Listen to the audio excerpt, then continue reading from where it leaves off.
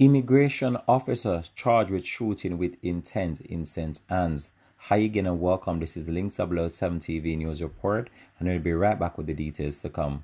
Welcome to Links 007 TV News Report, providing you with the best in local and international news updates. This is a place where you can get the most reliable and informative news information. Links 007 TV News Report. Welcome back and thanks for joining us. This is Link 7 TV News Report.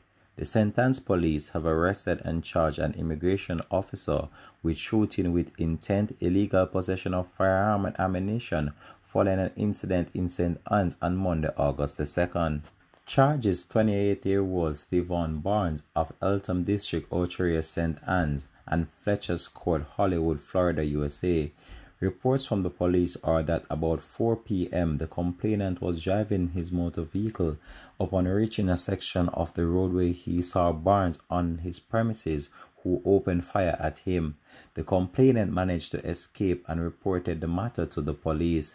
Lawmen carried out an operation and Barnes was arrested and charged after he was pointed out by the complainant. His court date is to be finalized. This has been Links 007 TV News Report. Thanks for watching.